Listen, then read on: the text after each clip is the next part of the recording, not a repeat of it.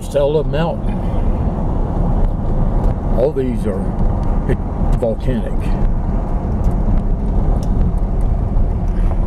And there's free camping just everywhere.